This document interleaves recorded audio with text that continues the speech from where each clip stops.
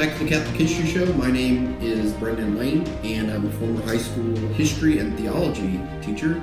And today I thought I'd talk about the Siege of Seville, which took place back in the middle 1200s. Uh, back when I was a teacher, one of my favorite topics to cover in class with the students was uh, the Reconquista, be- because if you speak the English language, it's possible that you don't know a whole lot about the longest war in human history, which was, of course, the reconquest of Spain from the Moors by the Christian Catholic uh, Spaniards. So today I thought uh, I wanted to do a Catholic history battle video, and I thought um, I'd pick uh, one from the Reconquista and the Siege of Sevilla. While it's a siege, and obviously there's battles that take place around the siege, and um, I thought it would be interesting to talk about uh, for a topic in the video. So here we go. Now, uh, you may have heard of Saint Louis IX, King of France. Uh, he was a great Crusader king. Uh, he's also obviously a Catholic saint. Um, he was recently in the news because Antifa tried to remove his statue uh, in St. Louis, Missouri, and um, St. Louis was amazing, but one of the things that he is uh, usually not known for is his first cousin, uh, Fernando III, King of Castile and Leon, who was also a saint in the Catholic Church and is also a crusader, but he, of course, crusaded against the Moors in his homeland of Spain. Now, San Fernando is truly amazing, and his legends are numerous, but one of his greatest feats, or probably his greatest feat in triumph, was the retaking of Sevilla in the south of Spain. So, by the middle of the 1200s, uh, Sevilla had been under the um, control of the Moors for over 500 years. And of course, they're not going anywhere. The people in the city are all Moorish now and Muslim. Uh, the main uh, religious edifice, if you will, is a mosque. And it was this incredible stronghold for the Muslims. And also, it was a major uh, port city. So the walls are very strong, and it's garrisoned by at least 500 Moorish knights. And the Christians thought it was essentially impregnable. Uh, but the problem the Spanish Catholics had was not necessarily with the garrison itself, but the stronghold at the town of Jaén, about 150 miles northeast of Sevilla. And Jaén was essential for the Catholics uh, if they were going to hope to take Sevilla because there was this very large Muslim garrison there, and in order for the Christians to to uh, lay siege to Sevilla, uh, they would have, if they tried to bypass Jaén, they would have had a Moorish army sitting in their rear, able to cut off their supplies, and then of course envelop them. So. In order for them to try and make an attempt on Sevilla, San Fernando and his Castilian army would have to lay siege to Jaén, which they did uh, in 1245, around Christmas time. And he brought with him uh, the Masters of Santiago or the Order of St. James. It's a famous military order. It's not so famous over here, but essentially it's a lot like the Templars. And the, the leader of the Order of St. James was this guy named Pelayo Perez Correa. Um, he was a mercenary who actually had a religious conversion and then um, became part of this military order and then rose to the top of it. So they were up against the Muslims at Jaén, and that was held by um, the, the Moorish leader was this guy named Muhammad the Red. So Muhammad the Red um, and his garrison at Jaén, they hold the city through the winter of 1245. But then um, after at the end of the winter, they're starving, uh, they're sick.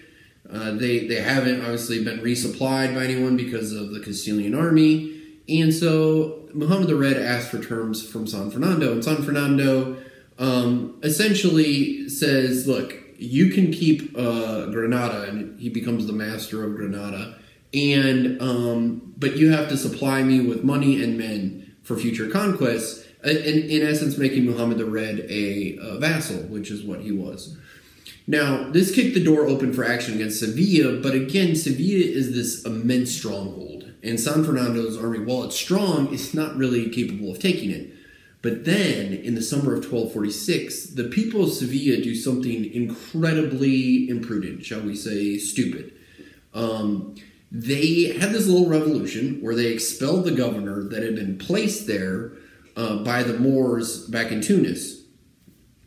And the people of Sevilla had already refused to show Muhammad the Red any kind of homage or any kind of support.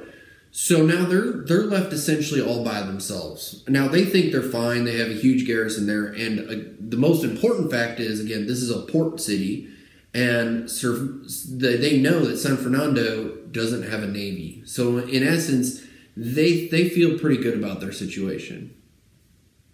Now, San Fernando realized the position that the Sevillian uh, citizenry had put themselves in, but he also realized that if he attempted to take Sevilla with his army and they failed, it could have cataclysmic repercussions for the Christians of Spain. It could set the Reconquista back hundreds of years. And so he doesn't take the next step lightly, but he does decide to pursue uh, a, a besiegement of Sevilla.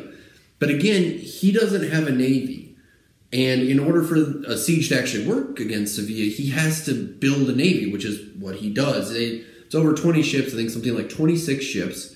And um, it's built in record time.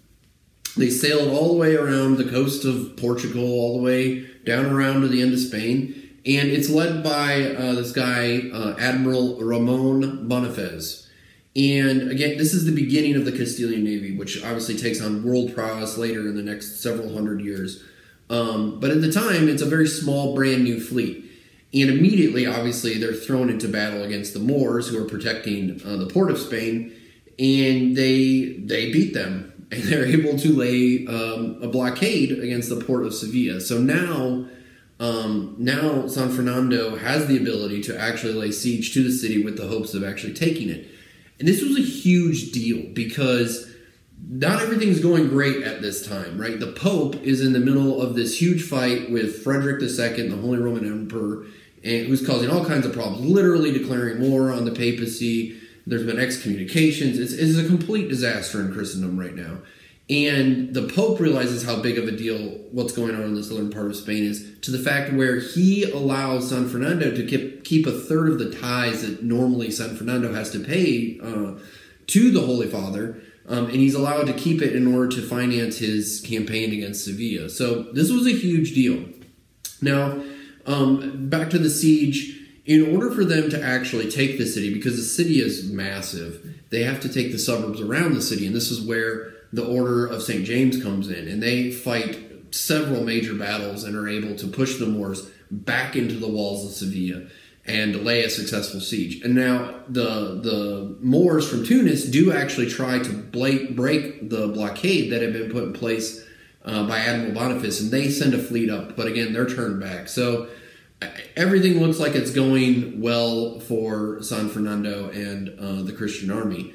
Um, it, it's important to note here that San Fernando had an immense faith, um, and he had a great devotion to Our Lady, as did Admiral Boniface. Um, when Admiral Boniface came down with his fleet on the prow of his ship, he had an image of Our Lady. San Fernando had three chapels built that the army um, was able to utilize that were dedicated to Our Lady, and so they had this deep devotion to Our Lady, and they credit her with the eventual uh, capitulation of Sevilla.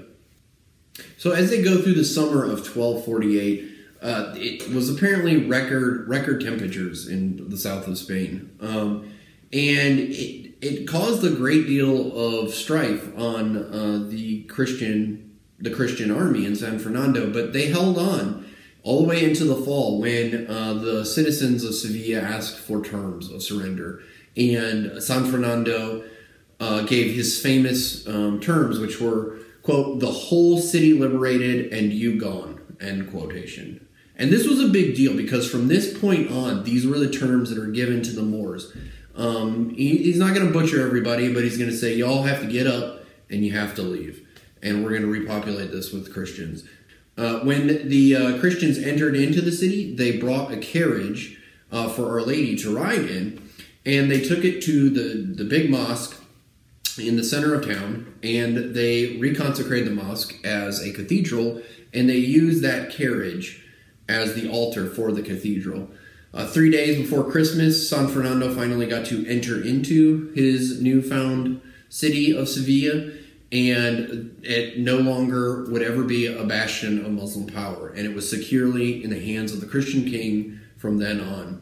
Soon after this, uh, the city of Cadiz fell uh, without even putting up a fight at all. And ne- the next year, Portugal, actually, the uh, the complete conquest of Portugal by the Christians was was completed. Um, the Moors were on the run, but it would take almost another 200 years to finally expel them from Spain. But this was a great moment in the history of Christendom. This gave incredible amounts of solace to many Christians who were very frightened at this time. There were a lot of hardships taking place in Christendom, a lot of frightening things happening. And I think it's important to remember the siege of Sevilla and remember the power of Our Lady because it's through her intercession to our Lord that when we are against insurmountable odds, we can triumph. Anyway, that's all I had for today. That's a little bit about the siege of Sevilla. If you want to learn more, um, I would check. I would start with Dr. Warren Carroll's A History of Christendom, and in there on the part on the Siege of Sevilla, there's several really good resources that you can check out if you want to dig deeper into the siege. Uh, I hope everyone's having a Merry Christmas season, and I hope you enjoyed this video. Please like the video and share it, and subscribe to the channel, and click the bell. Thank you. Merry Christmas.